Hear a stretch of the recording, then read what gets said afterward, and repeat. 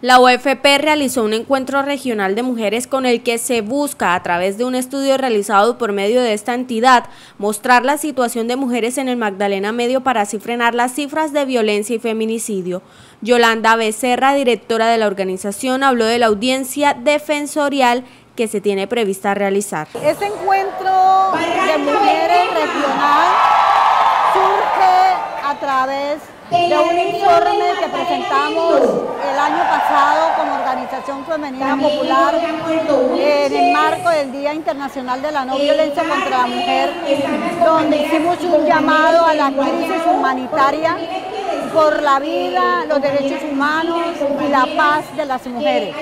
Todos sabemos que las mujeres en este momento en Barrancarmeja, Magdalena Medio, estamos en riesgo. La vida nuestra está en riesgo dentro de la casa y fuera de la casa.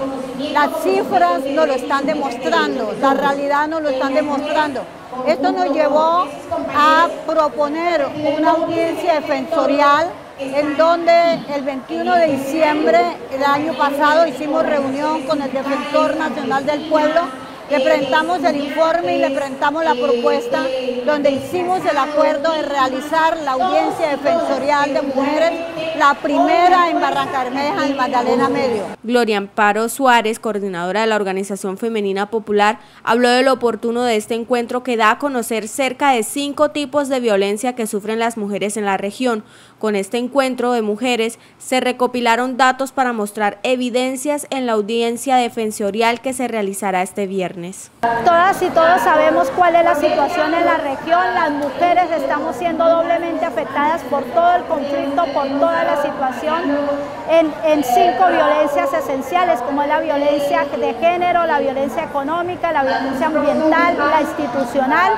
y por eso hoy las mujeres nos estamos juntando para sacar un pronunciamiento y también para hacer unas propuestas a la eh, audiencia defensorial que el día de mañana estaremos realizando. Alrededor de mil mujeres asistirán a esta audiencia y se espera que lleguen de al menos 26 municipios de la región del Magdalena Medio.